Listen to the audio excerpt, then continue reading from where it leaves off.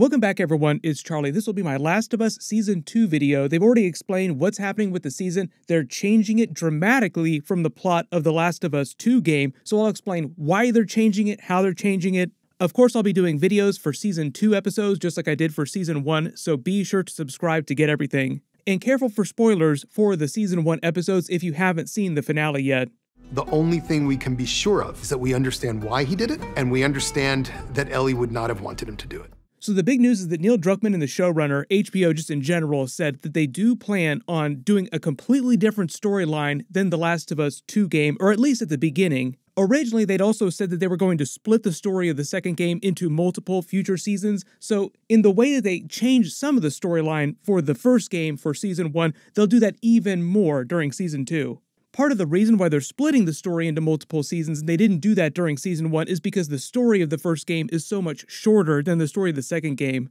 People who hated the second game will be really happy to know that they are changing the plot dramatically for a couple different reasons. One of the big things about the second game is also that it was very divisive with the fan base. So people either loved it or they absolutely hated it. So if you've seen a lot of talk online like, oh, people love season one, but they're going to hate season two because they've been expecting season two to directly adapt the exact same plot as the second video game.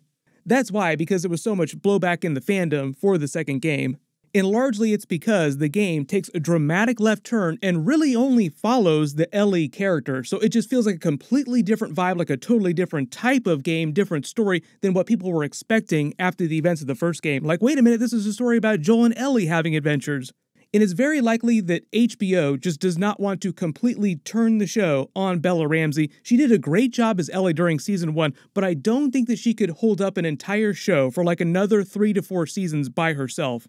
Pedro Pascal is on fire right now. If you haven't been watching my Mandalorian Season 3 episode videos, he is fantastic in pretty much everything that he does. We are full Pedro Pascal into the Pascalverse right now with him just blowing it up all over the place. The funny thing about that too is that the plot of The Mandalorian is very similar to the plot of The Last of Us, with him protecting Grogu on The Mandalorian and protecting Ellie. He's like a protective dad on both series, protecting children. So when they say they're dramatically changing the plot of the second game for season 2, what they might be doing is using a lot of the flashbacks in the missing period during a time jump between season 1 and season 2 that the game just skips completely over. The events of the second game pick up after a five year time jump after the end of season one, and the end of season one ends pretty much where you saw the end of the finale, with them looking at over Tommy's settlement, the promise, the lie that Joel tells to Ellie again if they still plan on adapting most of the characters from the second game, they can use that five year time jump to tell more story, more development of Ellie, and develop Abby's character, who winds up being the main antagonist of the second game. There was actually a brief reference to Abby in the finale, but not the kind of Easter egg that you would expect to see. Like, she as a character did not appear in the finale, but Laura Bailey, the voice actor who played Abby in the games, did cameo as one of the nurses in the finale. And in the games, Abby is meant to be the daughter of the Firefly's lead surgeon that Joel killed, setting up this revenge arc for her character where she becomes the main antagonist in the second game. But this character that Laura Bailey was playing was just meant to be a regular nurse. It was just a bit of an Easter egg behind the scenes that she herself was the voice actor who played Abby. I don't expect her to play Abby on the TV show in season 2. Speaking of video game actors cameoing in big connections in other productions, some of you might remember Laura Bailey from Critical Role, which she also does with Ashley Johnson, who cameoed as Ellie's mother in the episode. And what they can do during season two is tell more of the story during that missing five year time jump, develop Abby's character, and just delay the meeting between Abby, Joel, and Ellie till much later in the games. And without getting into big spoilers, they can always save the big twist with Joel and Abby's character till the very end of the series, like season 4, season 5, if they wanted to, however many seasons they want to go. So that's probably what they mean when they say they're going to radically change the plot of the second game for Season 2, Season 3, and beyond. For those that complained about this, they also confirmed that Season 2 will have way more infected in different kinds of infected, which is meant to be a reference to the other stages of the infection and types of infected you run into in the games. Stage 1 are meant to be the runners, Stage 2 are the stalkers after a little bit of time has gone by. After more time goes by, they develop into clickers, and then the most powerful stage that we saw was stage 4, the bloaters, which we saw back in episode 5. When they were teasing the other types of infected, they were talking mostly about shamblers, which are stage 4, which become more powerful and harder to kill, and potentially stage 5, which is basically like the Rat King. The Rat King is meant to be this amalgam of a bunch of different types of infected that kind of morph together and turn into a giant hybrid infected. Sort of like a transformer infected. He's more like a boss level character, so they'd probably save him for much later in the series. They said the main reason why there weren't as many infected during season one that people were expecting is mostly because they said when they were writing the season, Joel and Ellie's fight against the infected in the game in those different parts felt ancillary or too extra for what was happening with the plot. Like they had a hard time justifying a lot of those fights during the episodes. Like, why would they go off and fight this other group of infected for like another 15 minutes of the episode when it's not necessary? So I think they heard a lot of fans' complaints like, wait a minute, they're supposed to be infected, fungus all over the place. Why aren't we seeing more of that? HBO said, note taken, way more infected coming to season 2. But during the five year time jump, it's meant to be a period of relative quiet safety in which Joel nurtures and raises Ellie. He pays off his reference earlier in the finale by teaching her how to play guitar. A lot of the songs that they play are cover songs featured in both games, which they also used during The Last of Us Season 1 episodes. During this time, Ellie keeps her immunity secret from everyone else in Tommy's community. Tommy knows, but everybody else doesn't know about it yet. She even winds up masking her bite mark with a tattoo. But it's meant to be a good life over those next five years after the end of season one. She makes good friends like Dina and Jesse. They had an Easter egg quick cameo scene for Dina earlier when they first visited Tommy's settlement. Fans spotted this, and Neil Druckmann kind of confirmed it. He implied this girl peeking at Ellie, who she yells at because her social skills are non existent at this point, is supposed to be Dina from later in the games. Both Joel and Ellie spend a lot of time just working the regular odd jobs, helping protect the community from random infected that show up in the area. There are infected in fungus in the area, just not quite as many as you would expect in a large city. Joel continues to nurture his hobbies like woodworking, wildlife, guitar playing, trying to nurture Ellie's interests like outer space, dinosaurs. But slowly, more and more of a wedge grows between the two of them over Ellie's perceived loss of her destiny, her grand purpose for existing in the season one finale. She knows deep down that he's not telling the truth, but she can't let herself believe it. Too scary, the idea that her only purpose in life hasn't been fulfilled. And then Joel puts all of that on the line. Like a parent, you feel like you need to lie to your children to protect them. And that's what Joel does at the very end.